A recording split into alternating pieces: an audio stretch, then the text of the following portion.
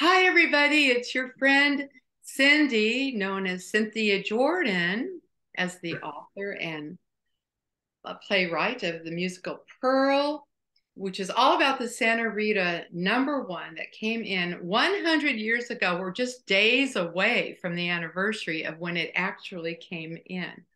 It's a beautiful story of perseverance. And because of the Santa Rita well, Texas has benefited so much. MD Anderson, UT, all of the millions and millions of jobs. A lot of people don't know that because of that discovery, the Allies were able to have plenty of fuel in World War II. And the list goes on and on and on. Well, today we actually have the granddaughter of Carl Cromwell. And Carl Cromwell is the reason that the well came in because he never gave up. Through all of the hardships, he never gave up. So, welcome, Judy.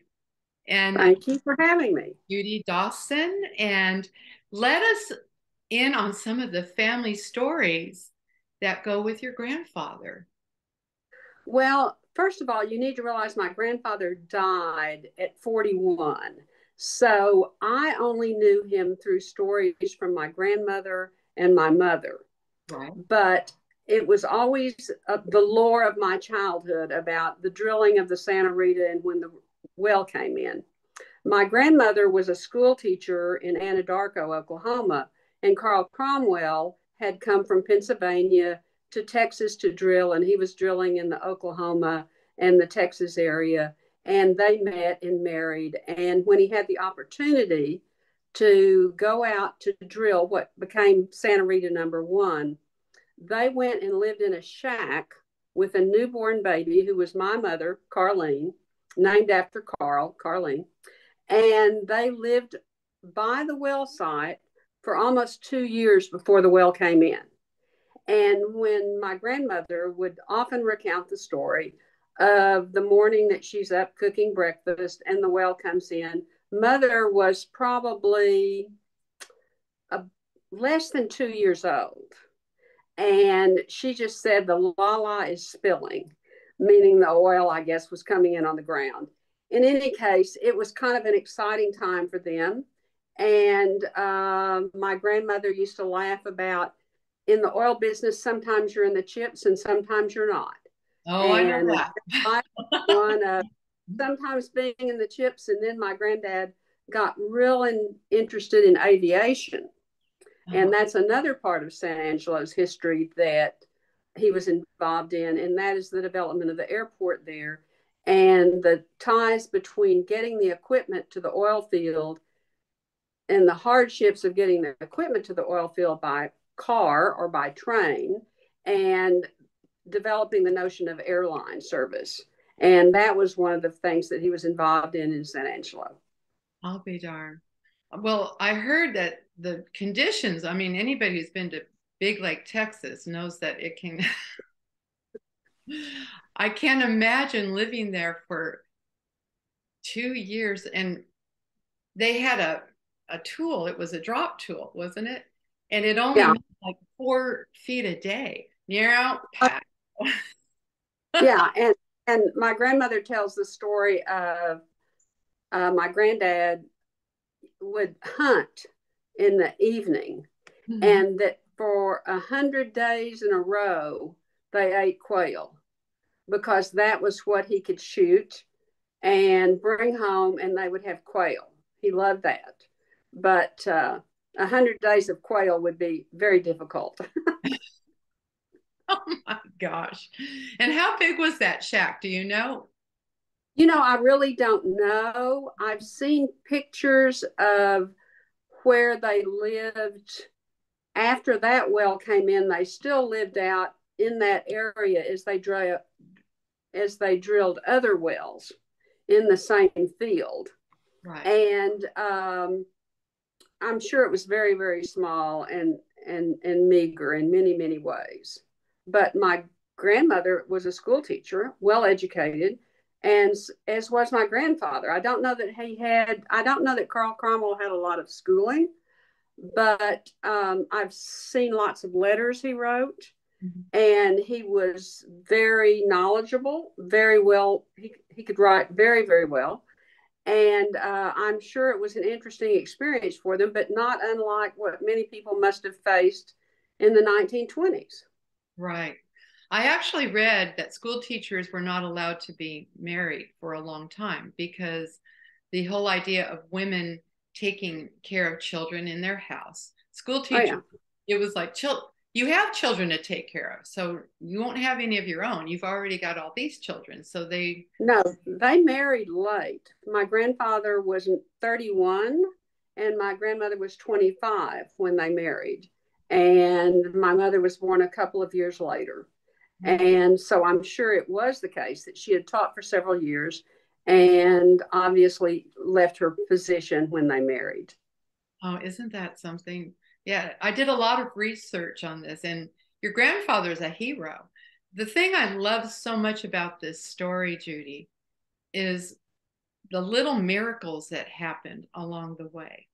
And to me, that is God affirming that I'm with you are you it's not overnight you have to understand that everything happens in god's time but he never gave up and so they had to have the hole in the ground by a certain time and they oh yeah they talked the train into taking the the water well equipment to get yeah. a hole in the ground where it, they wanted to drill was too far away so that's why it's only 185 feet from the tr- train track right out from the train tracks. And that actually turned out to be a blessing in many ways in terms of getting equipment.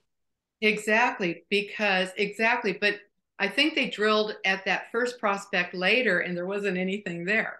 It was right there by the train track. And that developed the community of Texon. Mm. Did they live in Texon? Yes, they lived in Texon. And my mother probably as late as hmm, maybe the 1990s, maybe the early, probably the, the 1990s. My mother would occasionally go back to the Texon reunion. Okay.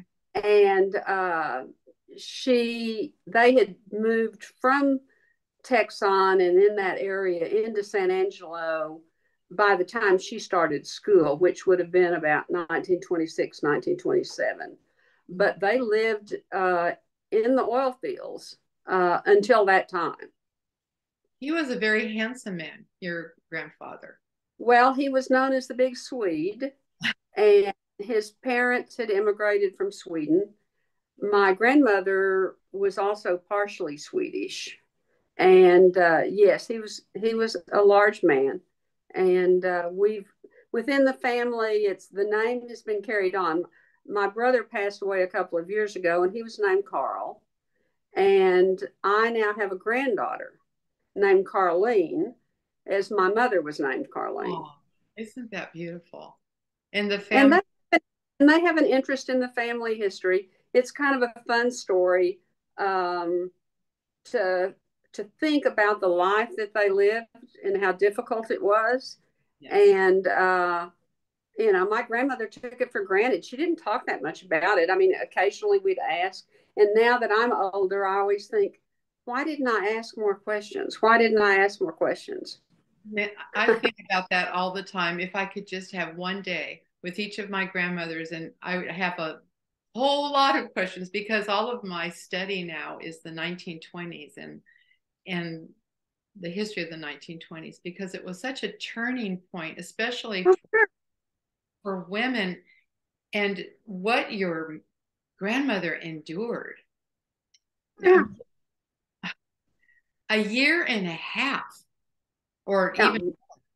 Well, and, and I think they moved into they the initial they had to get things in the ground in January, as I understand it. My mother was born in January of 21, which was the oh. month they had to oh. get it in the ground. She was born at Shannon Hospital in San Angelo. And I think then they must have moved on to the site by March, the way I read the history and understand the history. And we're there then, and it's two almost, you know, it's May of 23 as opposed to March of 21. So they're there a long time in the middle of nowhere. And they were virtually, yeah, they were virtually kind of by themselves out there. And there wasn't yeah, there, TV or. as, my, as I understanding, there were two shacks, uh-huh. one that my parents, my grandparents lived in, and one that uh, different workers came and right. went, and they undoubtedly had a, a difficult time taking keeping workers. But my grandparents still had a lot of affection for a number of people and stayed in touch with a number of people that worked on the wells. No kidding. Isn't yeah. that something? Because now today I had a beautiful interview with Richard Brantley from Midland, Texas. And that whole interview is about because of the Santa Rita number one, what that has done for the state of Texas. Well, it, it I mean, oil generally. Right. And one of the books that I mentioned to you earlier, and I'll hold it up right now. Okay. Oh, okay. Uh huh. Okay. And but it's written by a man named C.K. Stillwagon, and uh-huh. he didn't. He was not there when the Santa Rita came in, but he was the original Thule uh-huh. okay. from my grandfather. And he then his this book was written about 1945, and he goes through a lot of the history of the oil business in the United States. And his conclusion, as it's written in 1945, the conclusion is what a difference the oil business has made. It opened a whole new era. Much like someone might talk about a new era opening up now with other forms of energy, but it was a new uh, phenomenon at that time. Isn't certainly.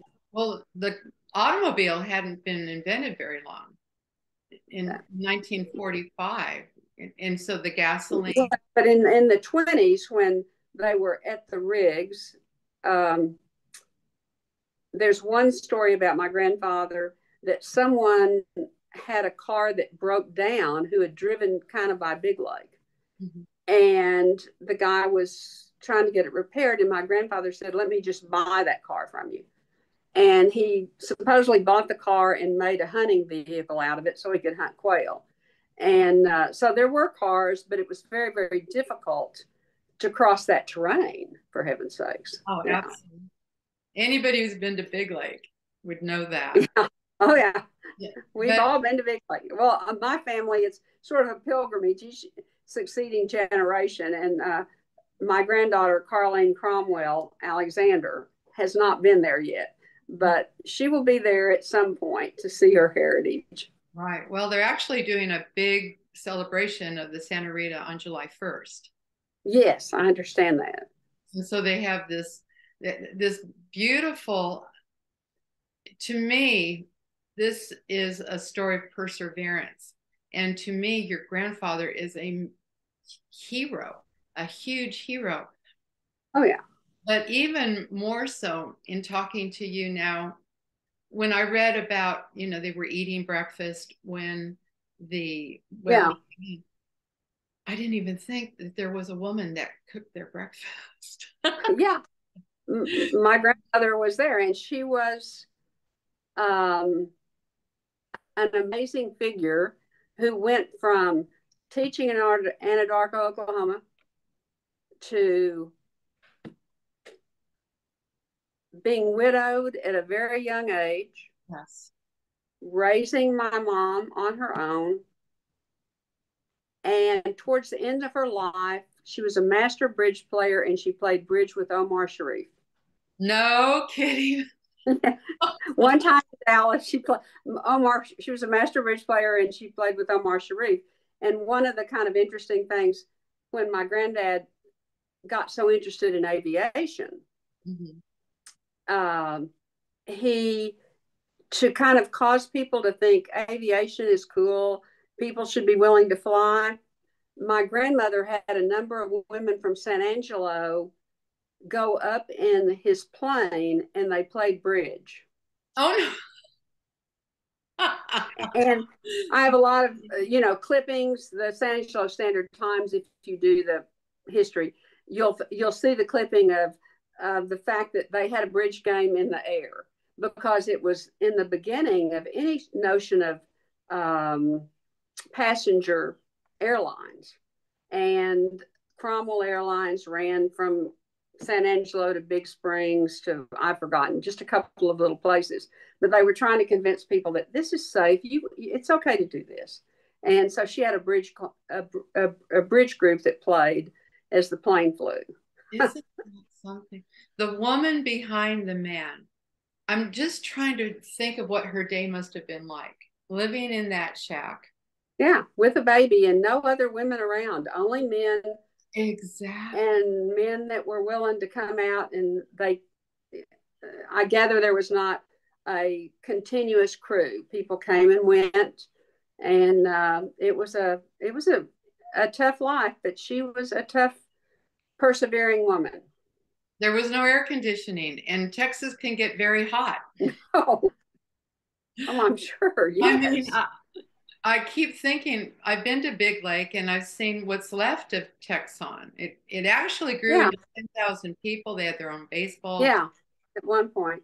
Now it's kind of deserted, but you still can see where the well was drilled.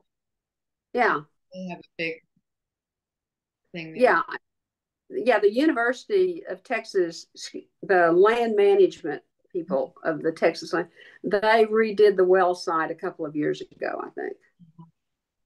Isn't that something? So let us. So this is about your grandfather and the perseverance and your mother supporting him. I'm, My grandmother supporting yeah. A year and a half, a year and a half living in a shack with a brand new baby with a dream. That was a dream. It, sure. It there was no guarantee. That was just a dream. And he never quit. No. And there's one story about the second will, mm-hmm. the University Well 1B, where they told him to quit drilling because it was too dangerous to keep drilling. And he kind of snuck around and persevered and drilled that one. And it was for a long time, it was the deepest well that had ever been drilled yeah, for it, probably that record stood for five or six years, I think. Isn't that something? Isn't yeah. What a beautiful story. Your grandfather with the perseverance and never quitting. I also, you know, there were these little miracles and these little stories that go with the Santa Rita. Oh yeah. The Catholic women who invested in it, and they had their yeah. they had their priest bless uh, bless a rose yeah. Gave those petals to Frank Pickrell, who climbed yeah. up the derrick and yeah. was specifically told to Christian it the Santa Rita. And this Santa Rita because she is the patron saint of impossible things. Possible. and then the the set of headlights that showed up right before midnight when they had to have a witness when they did yeah. get that hole in the ground. These little miracles and I believe in every story or in every dream or in any project, Judy. If you see a miracle happen, stick with it. That's my my attitude. God's with you. God is yeah. with you. But things happen in God's time. But the perseverance, how many people most people would have quit. And your your mother, I mean, she must have really loved him. well, no, that's my grandmother. I mean, your mother, that's what I meant. Just, a, just an yes, but yes, I assume that that was very much the case that that she stayed at the well site all that time, and uh, and she probably cooked for the men, and they probably all ate quail. I think they, I think they ate a lot of quail. That's the story I remember, oh. and uh, but I know that that was an exciting time for them, I'm sure, and worthwhile. Yes. Well, we're very grateful for his perseverance, the state of Texas is.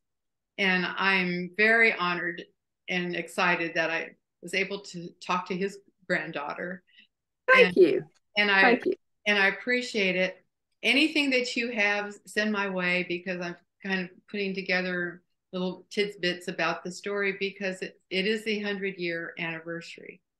Yeah. Um, you might look at the poem that I sent. Oh, I, I, I, took it out of this. It is the hokiest thing you've ever heard, but it is it, it's it's interesting and it's of a piece and um, I just I both laughed and admired the poem uh-huh. because it's about the fact that the Santa Rita made the university possible and the the university growing, the University of Texas, and he hoped that the students were appreciative of that. And it was just kind of a fun thing for me. I I had had that book around forever and ever and ever, and I appreciate the fact that you reached out to me because then I went back and found that poem, and uh, it is interesting to yeah. say the least. Well, Texas is celebrating the 100 year anniversary of the Santa which uh, did has affected millions and millions and millions and millions of people because your grandfather never gave up. He did not give up. And I Thank love you. that. I love that. What a man. What a strong, strong man. Thank you. Okay. Well, thank you so much for this, Judy. I appreciate you. And I will be sharing this with everybody that I can. okay. Thank you very much, Cindy. Bye bye.